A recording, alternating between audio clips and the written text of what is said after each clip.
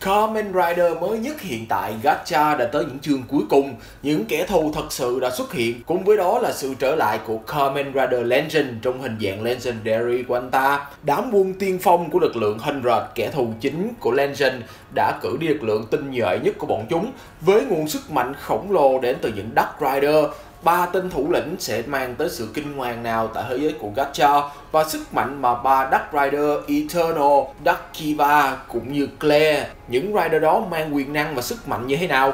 Trong video lần này, chúng ta sẽ cùng tìm hiểu về những Dark Rider đã được những tể tướng của đám rệt biến hình bắt đầu với Eternal. 15 giây để quảng cáo cho Ride On Shop. Hiện tại mình đang có một gian hàng trên Shopee với tên gọi Ride On Shop. Các bạn hay gõ từ khóa này sẽ xuất hiện ngay shop mình. Hiện tại mình đang bài bán rất nhiều những sản phẩm liên quan tới Tokusatsu bao gồm cả Kamen Rider lẫn Super Sentai. Các bạn hãy follow cũng như nhập những mã giảm giá để có được mức giá ưu đãi nhất. Giá cả vô cùng cạnh tranh. Link mình sẽ để ở phần bình luận cũng như phần mô tả video nhé. Rider Time.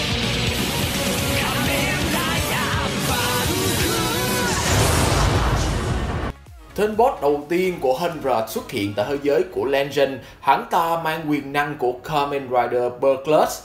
Kamen Rider Burglass là trùm phản diện trong series Kamen Rider Zio Overwatcher.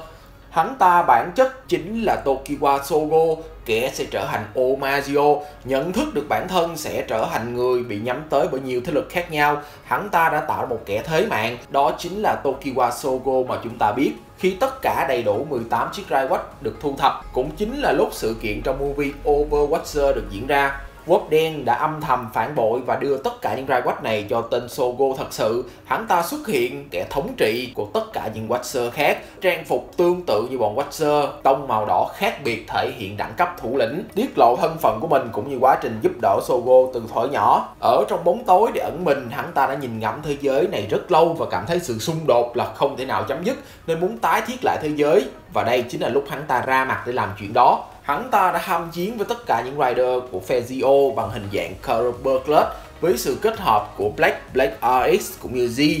Để trở thành Berklus, hắn ta cần có chiếc quách tương ứng của mình kết hợp với ZQ Driver.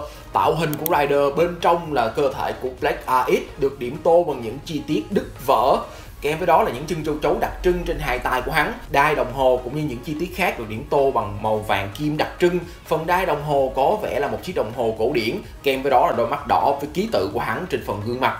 Thanh gươm của hắn cũng tương tự với tên gọi Bucklet Sword với những biểu tượng đồng hồ trên phần thân kiếm. Có lẽ được lấy tương tự từ thanh gươm của Black RX khả năng chiến đấu của Burglet khi sử dụng thanh gươm này được gia tăng đáng kể. Hắn dễ dàng áp đảo Zio trong lần đầu gặp mặt. Những khả năng tiềm ẩn mà Burglet sở hữu giống với Omagio Berkeley cũng có thể sử dụng sức mạnh của những rider khác thông qua rai vách của họ. Khả năng từ hình dạng Bio Rider của Black AX chuyển hóa thành một dạng chất lỏng tấn công kẻ thù cũng như vô hiệu hóa đòn tấn công của họ. Kèm với đó là khả năng của Rider cuối cùng, Rider Z, chuyển hóa bản thân trở thành khổng lồ để đối mặt với hình dạng Oma Firm và tất cả những Rider do Zio triệu hồi nên mang sức mạnh của thời không và bậc đế vương trong người, hắn ta cũng có thể vô hiệu hóa sức mạnh của những rider do Zio triệu hồi tấn công hắn. Đòn tất sát Burglars Time Break hắn ta lao lên không trung, thực hiện cú rider kick dán thẳng vào kẻ thù, một cú đá cực mạnh đến từ vị thần thời gian.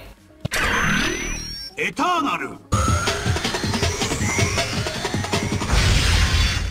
Đây là video mình thực hiện trước khi Kamen Rider Gacha ra mắt tập 33 nên có thể những Rider xuất hiện trong series của Gacha sẽ không mạnh bằng Rider gốc. Đầu tiên mình muốn nói tới trong ba thủ lĩnh sẽ tính thế giới của Gacha, chính là kẻ sẽ biến hình Kamen Rider Eternal. Eternal là Rider xuất hiện trong movie Kamen Rider W, Gaia Memory A to Z Hắn ta là một Never, một lính đánh thuê đến thành phố Futo với mục đích tiêu diệt tập đoàn Museum tạo nên thế giới mà hắn mong muốn dẫn dụ Philip và Sotoro đến gặp trực tiếp hắn Hắn ta đã lần đầu tiên Henshin thành Kamen Rider Eternal để đối mặt với W. Với câu nói đầy tự mãn, hắn ta cũng chính là một Kamen Rider tạo hình màu trắng từ trên xuống dưới với hai ngọn lửa xanh cháy gần như vĩnh cửu. Một bộ áo tròn đen đầy nguyền bí cũng như hai phần đai được gắn trên hai phần ngực của hắn. Gương mặt đơn giản kèm với đó là ba chiếc sừng như một chiếc vương miện thể hiện uy quyền của bản thân. Tạo hình đơn giản nhưng cách chiến đấu lại vô cùng phù hợp với Eternal Kasumi Daido. Hắn ta là một lính đánh thuê. Điểm mạnh mẽ nhất của Eternal trong trận chiến với W là khả năng chiến đấu cũng như sử dụng dao.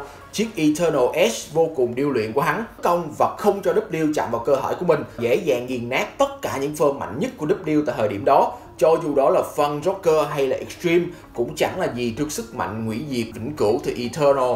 Tạo nên sự vô đối của Eternal trong lần đầu debut không phải là sức mạnh đến từ Eternal Edge khi chém ra được những chém năng lượng để tấn công kẻ thù từ đằng xa.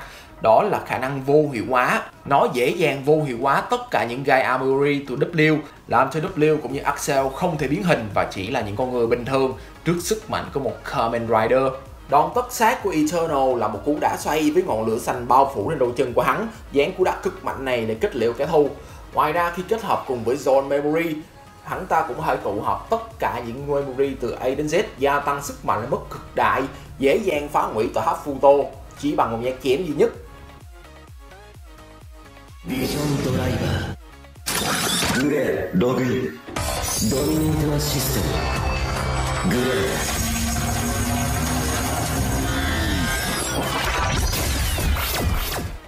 Nữ tướng duy nhất xuất hiện trong tập 33 của Gacha, cô ta mang trên mình Vision Driver và chuyển hóa thành Commander Claire. Không phải Claire True như Beroba, nhưng hình dạng cũng tương tự như thế với đặc điểm và sức mạnh của Claire. Trong series Counter Kiss, Claire được chuyển hóa từ Game Master Zerori, một người nghiêm túc với Design Bandwidth muốn nó được duy trì và hiện một cách hết sức công bằng. Mỗi bí mật của Design Bandwidth đều phải được bảo mật tuyệt đối, không ai được biết bất kỳ bí mật cũng như nguyên tắc hoạt động của trò chơi, bao gồm cả người giỏi nhất để tìm ra được mẹ mình, Ace, nhân vật chính đã vi phạm vào điều luật này của Zerori và buộc ông ta phải trừ khử anh tham chiến mặc dù chuyện này là không cần thiết và cũng không nên khi ông ta bản chất là Game Master.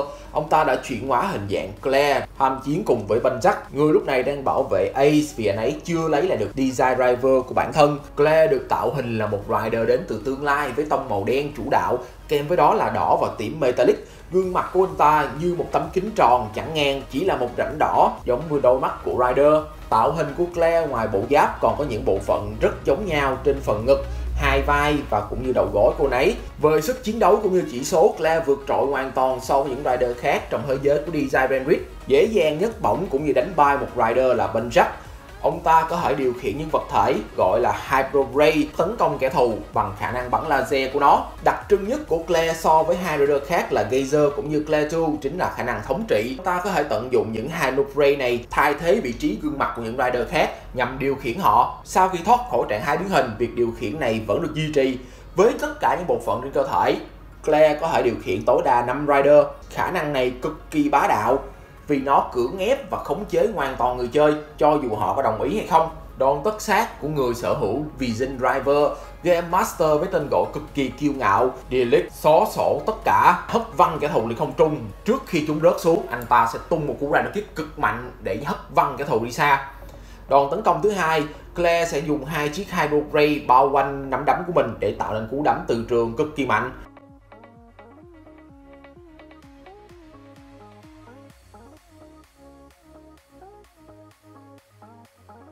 Kẻ cuối cùng cũng ra dáng thủ lĩnh nhất trong ba tể tướng của Hundred, hắn ta đã chuyển hóa thành Kamen Rider Dark Kiva. Trong series chính Kamen Kiva, Dark Kiva là tiền thân của Kiva Emperor. Tạo hình của nó tương tự như Kiva Emperor là giải phóng sức mạnh từ chính Kiva với những đôi cánh mở toang trên toàn bộ cơ thể.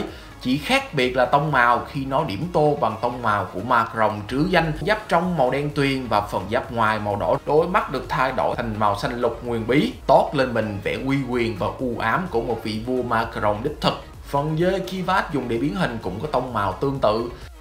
Dark Kiva được chuyển hóa bởi chiến King Fungi Ông ta là kẻ có sức mạnh gần như vô đối. Thêm vào đó là sức mạnh của Dark Kiva càng làm nên sự đáng sợ tất cả những quyền năng mà đất Kiva sở hữu cũng đích thực là một vị vua. Hắn ta không cần phá bỏ xiềng xích như Kiva mà đã có sẵn sức mạnh đó một cách tự nhiên, có thể khống chế và điều khiển kẻ thù từ xa, cũng như triệu hồi tất cả những vũ khí đến từ những quỷ tộc khác, cưỡng ép và thao túng chúng một cách tùy ý khi sử dụng bởi King dễ dàng áp đảo cả Emperor lẫn hình dạng Isa đòn tất sát của ông ta. Âm thanh quay khớp hiện lên, những đám mây bao trùm chiến trường kéo theo đó là một vầng trăng máu. Biểu tượng dơi xanh của Dakiva sẽ hiện dưới chân của Kamen Rider Dakiva nó lao thẳng vào kẻ thù để khống chế họ, treo ngược họ trên một chiếc thánh giá vô hình của Macaron. Cuối cùng, vị vua sẽ hiện của Rider Kick trứ danh để kết liễu kẻ thù dám ngán đường của ông ta. Dark Kiva cũng là kết thúc của bốn Duck Rider được sở hữu bởi những thủ lĩnh của đám Hundreds. Liệu bọn chúng có mang lại toàn bộ sức mạnh của những Rider này hay chỉ là những bao cát di động giống những Duck Rider trong thế giới Nega trong series color DK hay không? Video này hoàn toàn do mình tự tổng hợp nên tất nhiên sẽ còn nhiều sai sót và series của Gacha vẫn còn tiếp tục rất có thể những Dark Rider khác cũng như xuất hiện tiếp theo trong series của Gacha và mình sẽ tiếp tục phần series về Dark Rider này mình là Rider On cảm ơn các bạn rất nhiều thanks watching. Bye. Cột mốc 17.000 subscriber đã đạt được trong năm 2023 Trong năm 2024 này chúng ta sẽ đạt những cột mốc lớn lao hơn Cũng như quá trình phát triển của kênh Riding On và Riding On Shop. Mình cảm ơn các bạn rất nhiều và mong các bạn ủng hộ video trên kênh Riding On này nhé. Mình là Riding On, thanks watching. Bye.